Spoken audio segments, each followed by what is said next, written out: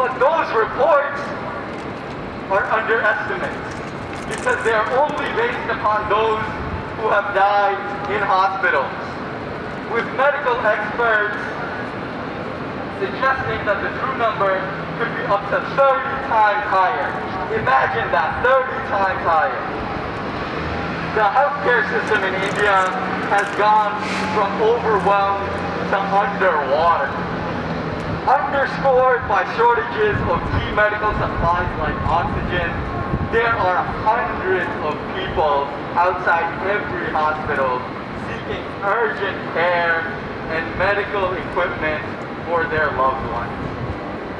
City skylights are lit with an orange hue from the cremations and the funeral pyres that are happening in the hundreds of thousands.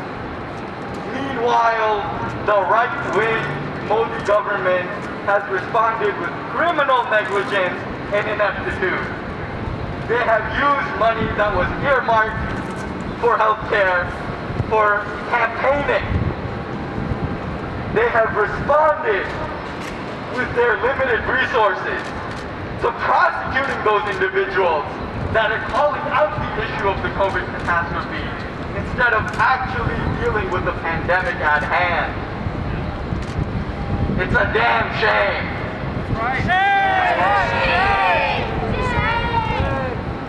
But we need to remember that this isn't just the fault of the current right-wing government.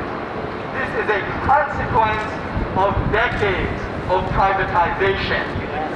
Like in America, like in India, neoliberalism the world over.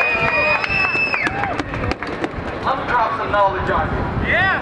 India has less than one doctor for every thousand people. India has only 5.3 beds for every 10,000 people. While China, for example, has 43 beds for every 10,000 people. India has only 48,000 ventilators in the whole country, while China had 70,000 ventilators in the city of Wuhan alone. So India, which is about a billion people, and the United States added on top, has 48,000 ventilators, and Wuhan, which is about 11 million people, had 70,000 ventilators at the rate, right? Let that sink in for a second. And despite having the third largest pharmaceutical industry in the world, the vaccine rollout has been a complete disaster. With healthcare experts estimating it might take a whole year for every Indian to be fully vaccinated. And yet, India is one of the few countries in the world that is still charging people for the vaccine. How criminal is that? How, how evil is that?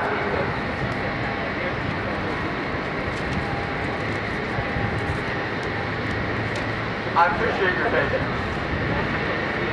Now we can't understate the role that global vaccine apartheid, because that's what it is, has played in this process. As the global COVID-19 vaccine production increases, much of the global south faces severe shortages.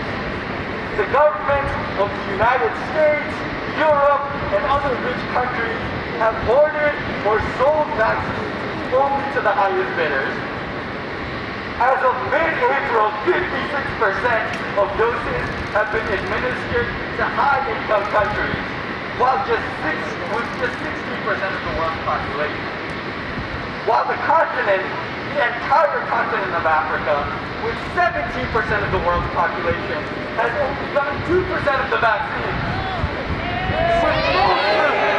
Having less than 1% of their people vaccinated. Now the hoarding of these vaccines is not an accident. Be sure of that. It is by design and it is actively supported by the United States.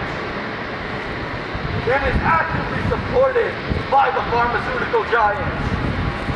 In an attempt to rectify this gross inequity, India, South Africa, and 80 other countries proposed a temporary waiver to the trade-related aspect